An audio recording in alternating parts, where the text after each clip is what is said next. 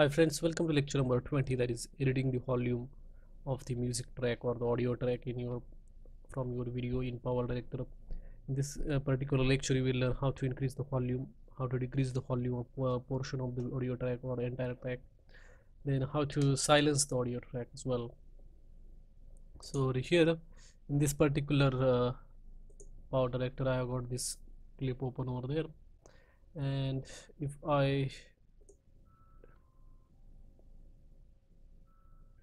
run it? We'll notice that uh, it has got music as well and that is called as audio track number one.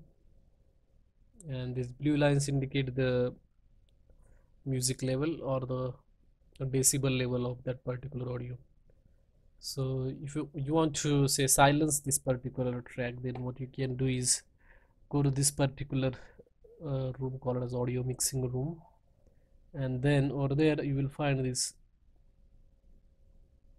sections voice music audio and audio to audio 3 so voice and music uh, actually what it means is that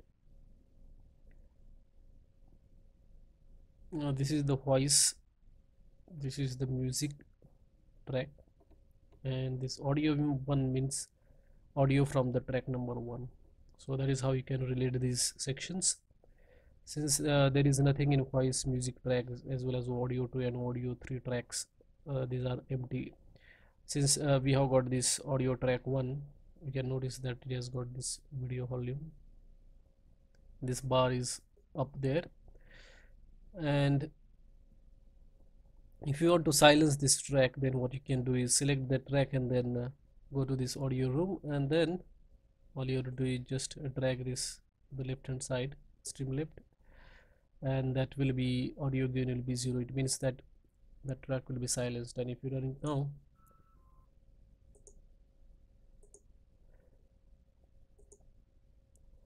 you can notice that there is uh, audio is not coming at all.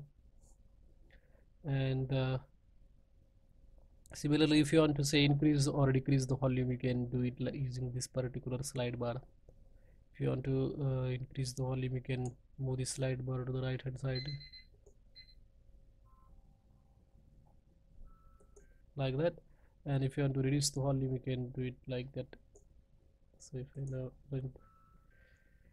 music is much lower. So that is how you can uh, like adjust the volume of the uh, track in this PowerDirector. Or uh, if you have got this AudioDirector installed you can also go there and then edit this track as well using AudioDirector software. That is another independent uh, tool from the CyberLink. Thanks for attending this lecture